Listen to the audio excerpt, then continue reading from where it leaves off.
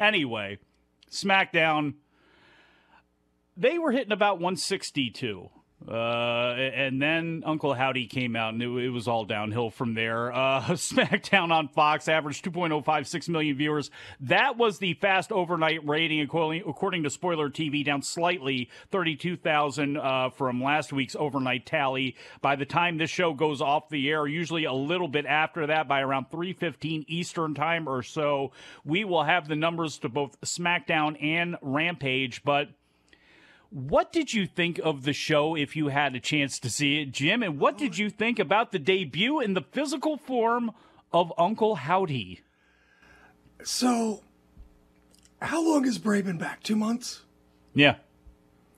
In two months, to design Uncle Howdy, they put him, they put the character, we don't know who's behind it, maybe it's a woman, but we'll just call him he for now. Um, they put him in a top hat and a leather suit jacket. And I don't know, it just and he just stood there and laughed. I'm all for for mysteries. And I'm all for giving you breadcrumbs to keep watching and all these things that seem to be part of the Triple H creative regime. But they are drawing this out way too far.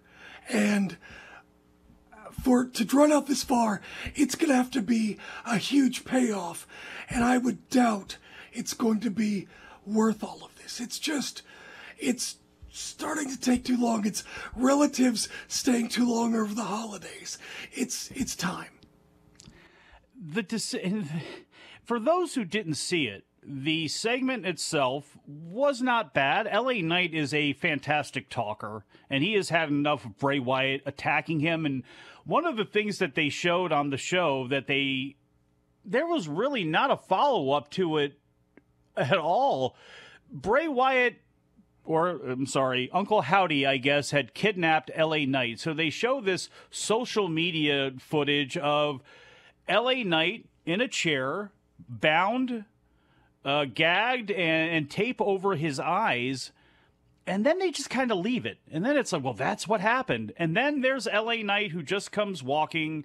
And the first thing I thought of was much like Billy Gunn getting his fingers cut off by Swerve Strickland can we have an explanation or maybe like we hear doors bust in of like police or security saving these men? I mean i know it's pro wrestling in 2022 but is it way too much for me to ask that there's actually like you know some explanation on how these people were either kidnapped or at the very least found and released? Would that be too much to ask? I'm not sure how i feel about kidnappings in wrestling. But I will say this if it's going to be a kidnapping, it should be a big deal and not just a brief clip coming back from break. Yeah, how did LA Knight get out? Did they let him out? Did they drop him off in an alley? Did they let him off at his house, at the arena? Uh, you know, there's, if you take it one step further, it's, it, it may be too ridiculous for even even for I know it's just wrestling, but uh, they need a few more details. And there Uncle Howdy stood as Bray Wyatt revealed to LA Knight, no, it wasn't that wasn't me who was attacking you. See, I'm right here. And then Uncle Howdy comes out onto the stage and as Jim mentioned, with the top hat, with the jacket on, and he grabs his lapels and ha ha ha ha for 50 I counted it at 50 two seconds. The reality is, he was standing there with the camera cutting back and forth between him at the top of the stage and Bray and LA Knight in the ring at least 90 seconds. It oh, felt yeah. like an absolute eternity. I. So, it was so bad. Even Jeff Jarrett said, that guy's laughing too much. I can't. I could not believe it, and it's like I know they. I swear they do it on purpose with some of the backstage skits where they seem to leave the camera on for just like one second too long to the point where it becomes uncomfortable with the person just standing there staring off like this, and it's like okay, cut, cut, new camera to switch to something. I cannot believe that they thought that that was a good idea or that that would would not get old quick after 10 seconds, let alone hey, stand up there for a minute. It's it's kind of scary here because I believe in Triple H as creative director a lot more than I do Vince McMahon. And I also know that he's not going to snap his fingers and all of a sudden we're going to be back in 1986 in the Charlotte Coliseum or, or something like that. I get that. I get where we are in 2022, but like, the balance they have not been able to find the balance at all especially when it comes to to Bray Wyatt and this whole deal and there's been talk that Triple H hasn't been happy with with certain things and certain people that he has brought back. I don't think that's got anything to do with this Bray Wyatt situation here, but how can you save this when it looks like everything is barreling towards live action characters and a weird group around him that is going to basically blur the line every time out there, much like he did between reality and reality in wrestling and then the wrestling reality, which is, you know, completely out the window. So I'm guessing maybe we'll get a match between LA Knight and Bray Wyatt, maybe at the Royal Rumble. And then after that, it'll stretch all the way to Mania, probably is my guess. We're going to see another several months of other characters or mysticism or just whatever, trying to be trying to be spooky and mysterious when actually it's just very ponderous. Can you think of anybody on the roster or with a good relationship right now who you could take and drop into that WrestleMania match that will make people interested? Is it John Cena again? And I know he's been linked with possibly other people. We uh, we've heard Lesnar and Gunther. We've heard a lot of different people. Is there somebody already on the roster right now who you think would be a good fit for this? Because I know it's not Seth Rollins. I've lived through that one enough. I never want to see that one again.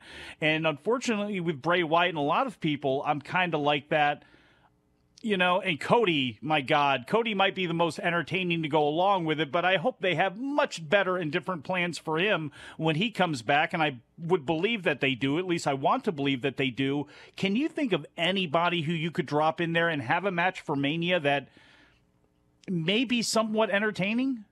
Well, you know, I could think of people. I don't think they're viable options. I mean, Kevin Owens is a wrestling genius. You could drop him in there. But I mean, he's got other things going on. He's he's not a likely candidate. Um, there's history there with Braun Strowman, but he's on the other the other network. So, you know, I just I, or is he? I don't even know. Anyway, no, he's on SmackDown. He could. I guess you could do Braun. Um, I, uh, you know, I, I I can't think of anybody that you could drop in that it would help. Um, maybe you're just going to build to Bray versus Uncle Howdy, and it's going to be some sort of psychological, cinematic, whatever. I mean, so many people in wrestling have this desire to be movie directors or to be horror writers or whatever. And it's like, wrestling is just wrestling. I think you can there are just certain things that just don't work. With a Bray Wyatt, and if you want to go in this direction, because we've seen the house burn down and the deal with Orton and all, all this stuff that we've had with Bray Wyatt over time, to me, it's like maybe it's like baseball where you sign a Joey Gallo because you only want him to DH and you're only going to use him at X time against this pitcher in this, you know, this particular park where he does well. And I, I know I'm picking on Joey Gallo a lot here, but my God, I can't believe he's making $11 million. But can you, I mean, to me, if you're going to spend money and justify this, is it better to only break him out quarterly? Is it better to only build towards something major with somebody when you can pull off the spooky because I feel the same way about Dexter Lumis in a different form where I can be greatly entertained for short spurts with Dexter Lumis in the right situation. In NXT, there were times where I got a kick out of him that way. Would it be better to just take a look at, at Kevin or Kevin Owens at Bray Wyatt, look at his character, look at the creative that he obviously wants to do and believes in very much, and just go, okay, we'll use you when we have the chance to. We'll keep you on ice because we don't want you to go anywhere else. But maybe every four months, every six months, you'd go ahead and do something like that as opposed to trying to make this a weekly character? Yeah, I think you want to keep him special. But here's the thing for every long Uncle Howdy section, segment, for every music box with goo at WrestleMania, for every red cage match with Seth Rollins. Bray Wyatt sells a ton of merch. None of these things have had any effect on any of it. We can sit here and criticize it, but we ain't the ones cashing those big fat merch checks. Regardless of all of this, he is a big star who people buy his merch, and none of this matters. It is if you want to look at numbers and what he sells, this stuff works. It's insane. And that's why I just think from a creative point of view, keeping them off and, and well, still being able to utilize all that. I'm I'm the next generation above you. So I was 20 or so when Papa Shango was out. And I thought Papa Shango was the stupidest thing in the world. I was embarrassed. But if you were a kid, you were scared of him or whatever, and now you're nostalgic. You and I aren't 10 years old. So maybe a 10 year old or whatever, someone who's younger, thinks Bray Wyatt is, is the coolest thing ever. You know who I think is the coolest thing ever? Kevin Owens.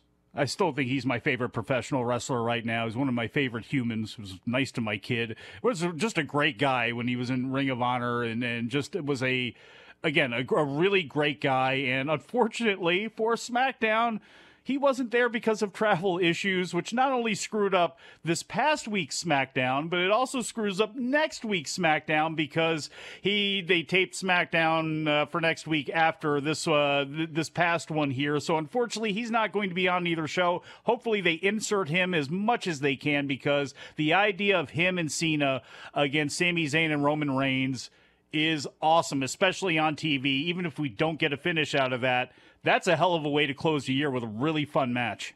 Yeah, they're ending the year on a bang and getting people hyped up. Cena's back, Royal Rumble, Road to WrestleMania. You know, it's now begun. Granny, let's do the wrestling report. What do you got today? Put your laughing gear on. My laughing gear.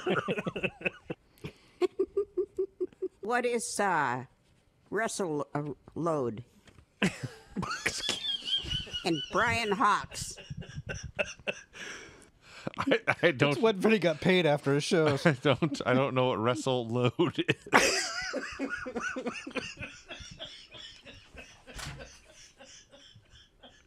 Oh, wait a minute. It's Russell WrestleCade. Oh, well, oh that makes more sense. Where'd Brian go? He's recuperating. he's, he's broken. You broke him, Granny. Sheesh. I've never. I have. If you enjoy these videos, for just $7.99 per month, you can enjoy full length editions of The Bryan and Vinny Show, Wrestling Observer Live, Figure 4 Daily with Tom Lawlor and Lance Storm, the Mat Men podcast, Speak Now Pro Wrestling with Denise Salcedo, and more, plus hundreds of archived shows, all in beautiful HD. Don't miss out. Join us today.